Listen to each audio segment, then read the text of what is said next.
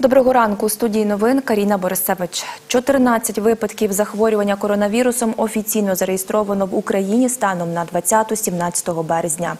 Два випадки летальні. Про це повідомляє прес-служба Міністерства охорони здоров'я. Найбільше хворих у Чернівецькій області – 10 осіб. У Київській – троє та у Житомирській – одна особа. Ну і переходимо до новин Прикарпаття. В області зараз є 500 костюмів біозахисту, 100 тисяч медичних масок та 3200 респіраторів. Про це вчора на онлайн-нараді сказав тимчасовий виконувач обов'язків голови Івано-Франківської обласної держадміністрації Віталій Федорів. Також ще ряд засобів для боротьби із коронавірусом очікують від Міністерства охорони здоров'я.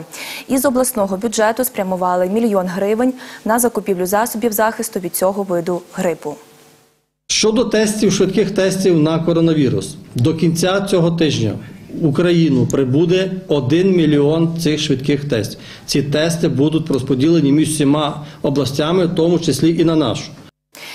Відсьогодні в Україні призупиняють залізничні та автобусні міжміські та міжобласні перевезення.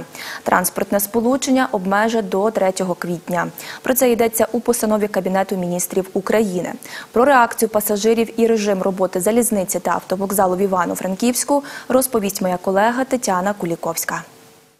Андрій Федорків кожного дня користується автобусом на двір на Івано-Франківськ, бо доїжджає на роботу. Негативно, звісно, але якось прийдеться доїжджати чимось, не знаю.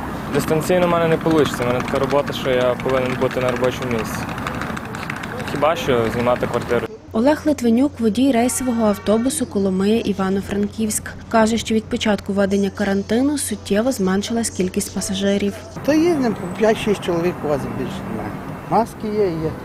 Хлорка, що дезінфекцює м, е, автобус і тут все. А якщо скажуть, от відміняєте перевезення, буде приїзд? Ну то будемо відміняти, а що робити?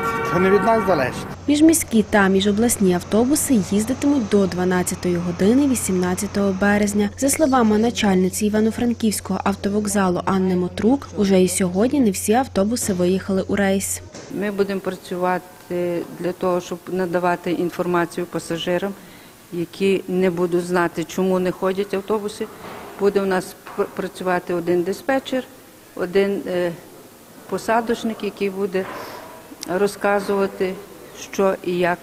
І прибиральниці, що будемо прибирати територію. І в такому режимі ми до 3 квітня Галина Половко з чоловіком приїхали на відпочинок до Івано-Франківська із Запоріжжя.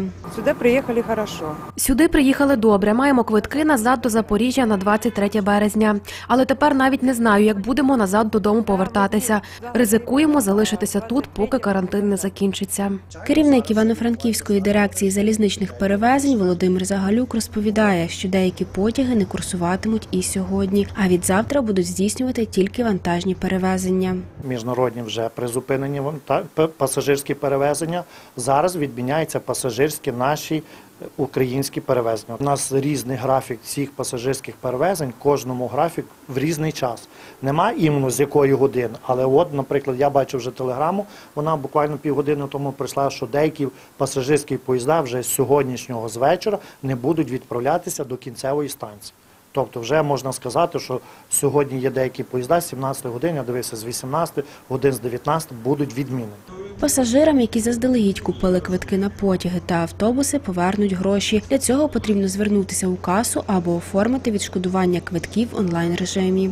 Тетяна Куліковська, Андрій Шостакевич. Новини на Суспільному. Івано-Франківськ.